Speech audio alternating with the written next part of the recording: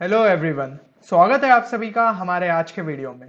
तो यार, आज का वीडियो बहुत ज़्यादा इंपॉर्टेंट है जेई मेंस 2022 एस्पिरेंट्स के लिए। क्योंकि आज अपन देखने वाले ऐसे टॉप टेन चैप्टर्स जिनका वेटेज काफ़ी ज़्यादा था। मतलब ये जो एनालिसिस तैयार किया गया है, ये आपके जेई मेंस 2021 के चारों अटेम्प्ट में जितनी भी शिफ्ट हुई, यानी कि टोटल हमारी 26 शिफ्ट हुई थी।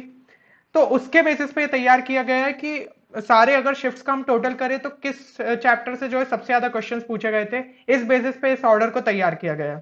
और हम दोनों ही क्लास के देखने वाले कि क्लास इलेवेंथ के कितने चैप्टर्स थे देन क्लास ट्वेल्थ के कितने चैप्टर्स थे तो ये टॉप टेन चैप्टर्स इस तरीके से कंबाइंड रूप में आपके लिए बनाए गए और आप ये एक्सपेक्ट कर सकते हैं कि लगभग 50 परसेंट क्वेश्चन इसी टॉपिक से आ सकते हैं, क्योंकि यही चीज़ हमें 2021 में देखने को मिली है। तो अगर ये टॉपिक जो है, जेई मेन्स के परस्पेक्टिव से बहुत ज़्यादा इंपॉर्टेंट हो जाते हैं और इन पे आपको खास फोकस करना चाहिए। तो सबसे पहले हम देखते हैं क्लास इलेवेंथ के हाईएस्ट वेटेज टॉपिक्स तो ये आपके सामने लिस्ट बनी हुई है।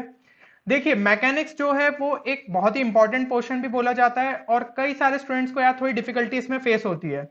और उसमें भी जो एक चैप्टर आता है रोटेशनल मोशन जो कि बहुत ही ज़्यादा टफ माना जाता है। कई बार जेई एडवांस में उससे रिलेटेड बहुत ही प्यारे प्यारे क्वेश्चन आए तो जो कि मतलब यार बच्चों को काफ़ी ज़्यादा तकलीफ़ देते हैं। बट जेई मेन्स में रोटेशनल मोशन के क्वेश्चन के लेवल थोड़ा कम रहता है। तो इसका वेटेज भी अच्छा रहता है, ठीक है? तो इसलिए रोटेशन मोशन आपको ध्यान से करके जाना है। देन दूसरा जो मैकेनिक्स का चैप्टर जो कि इंपॉर्टेंट है, वो है लॉस ऑफ़ मोशन तो ये दो चैप्टर्स तो कम से कम मैकेनिक्स में आपको करके ध्यान से जाना ही है। बाकी जो इलेवेंथ के हिसाब से मतलब अपने हाईएस्ट वेटेज टॉपिक्स हो जाते हैं, वो है अपना ऑसिलेशन देन अगला है ग्रेविटेशन एंड थर्मोडाइनमिक्स तो ये जो पाँच टॉपिक्स है, इनसे आप एक्सपेक्ट कर सकते हैं कि लगभग एक एक क्वेश्चन तो मतलब सबसे आ ही सकता है। क्योंकि ये देखा गया था कि ग्रेविटेशन हो गया ऑसिलेशन हो गया। इनसे हर शिफ्ट में एक क्वेश्चन तो आ ही रहा था।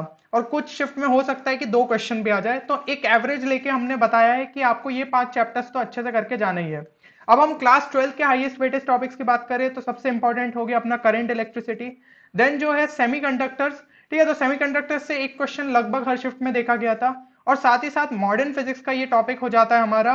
ड्यूअल नेचर ऑफ़ मैटर तो ये भी बहुत ज़्यादा इंपॉर्टेंट था। इससे भी कई बार शिफ्ट में लगातार क्वेश्चन देखे गए तो इन्हें मैंने एक कंबाइंड फॉर्म में लिखा है, क्योंकि ये दोनों ही चैप्टर्स जो है बहुत छोटे हैं तो आप मिलके एक चैप्टर ही उनसे मान सकते हैं। फिर अपन ऑल्टरनेटिंग करंट जो है, वो भी काफ़ी ज़्यादा इंपॉर्टेंट है। इलेक्ट्रोस्टाइट्स तो बहुत ही मतलब ट्वेल्थ का मोस्ट इंपॉर्टेंट चैप्टर भी आप कह सकते हैं। और रे ऑप्टिक्स ठीक है? तो कई लोगों को जो है ऑप्टिक्स मतलब ऐसे बड़ा लगता है तो रे ऑप्टिक्स तो कम से कम करके जाइए, ठीक है? क्योंकि वेव ऑप्टिक्स में कभी कभी जो है चीज़ें थोड़ी डिफ़िकल्ट भी हो जाती है और उससे इतने बार क्वेश्चन अपन को देखने नहीं मिलते। तो रे ऑप्टिक्स पे आप ज़्यादा फोकस करिए। और इनमें हम बोल सकते हैं कि करंट इलेक्ट्रिसिटी में कई बार शिफ्ट में दो से तीन क्वेश्चन भी देखने को मिले तो ये बहुत ही ज़्यादा इंपॉर्टेंट हो जाता है। देन सेमीकंडक्टर से एक क्वेश्चन आता है ड्यूअल नेचर ऑफ़ मैटर से भी कभी कभी एक एक क्वेश्चन आ जाता है तो ये भी अपन को दो क्वेश्चन के आसपास हो जाते हैं। बाकी ये जो तीन टॉपिक्स है, इनसे अपन एक एक क्वेश्चन लगभग हर शिफ्ट में देखने को मिल जाता है। तो ये जो दस चैप्टर हो गए आपके इलेवेंथ के पाँच और ट्वेल्थ के पाँच, ये मिला के लगभग आपको जो है 50 परसेंट स्कोर दे सकते हैं आपके JEE Mains twenty twenty two में। तो अगर आप सिमिलर टाइप का एनालिसिस चाहते हैं अपने मैथ्स और केमिस्ट्री के लिए तो कमेंट में एक बार लिख के ज़रूर बताइए। अगर ज़्यादा स्टूडेंट्स जो है मांग करते हैं तो हम उस पर वीडियो ज़रूर लाएँगे।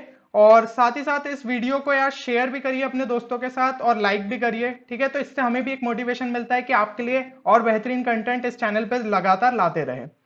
तो फिर मिलते हैं अगले किसी नए वीडियो में नए शॉर्ट ट्रिक कॉन्सेप्ट या स्ट्रेटेजी के साथ। तब तक आप लोग अपना ख्याल रखिए अपनी प्रिपरेशन ज़ोर शोर से करते रहिए। Thank you everyone